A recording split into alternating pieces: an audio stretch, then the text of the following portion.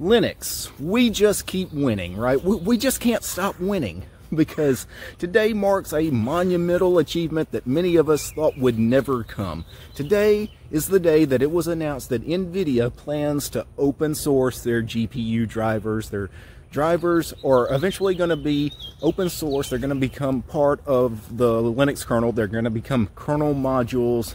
And it's a day of celebration, especially for those of us that for years, and I'm certainly one of those people, for years I have been calling upon NVIDIA to finally open source their GPU drivers because Intel opened their GPU drivers, right?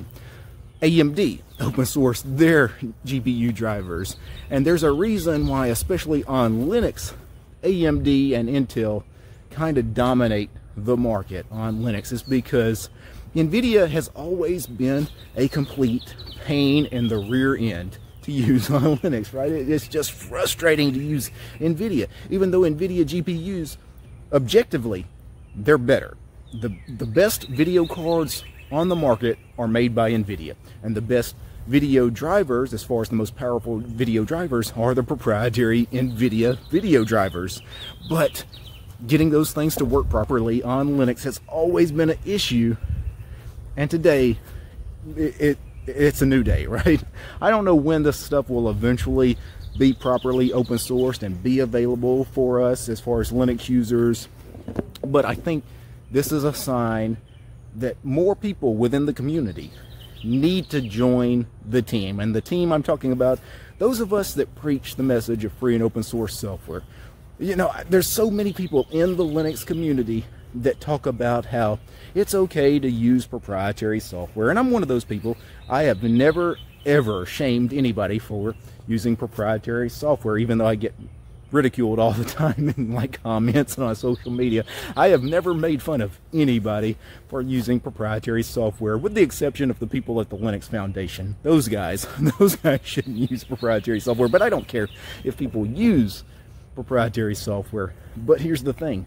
I want more people, more developers to license their software as free software, right? We need to get more people that normally would have licensed their software and their applications, their programs, their libraries as proprietary. I want those people to start using free and open source licenses. And many of us in the community, you know, more and more of us, it's a growing voice, but it's still not there yet. And, you know, here in the last few years, we've seen real major changes. We've seen you know, companies come around that normally would never have open sourced anything. Microsoft even is open sourcing some of their software. And of course, NVIDIA is like one of the holdouts. Like, there's no way NVIDIA is ever going to open source anything. And now it's announced today that NVIDIA is, is going to open source their GPU drivers.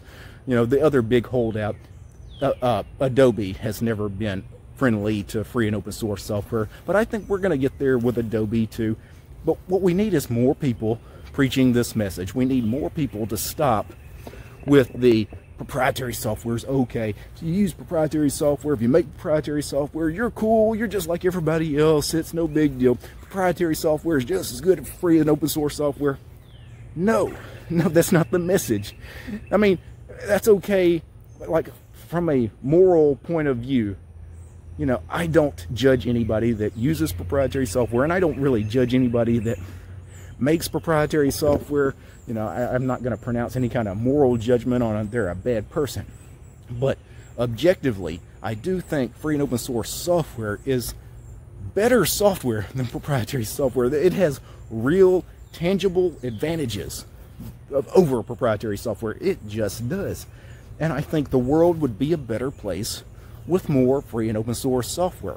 And I think more people need to join us. You know, more people need to jump on the train with us because, again, we're winning.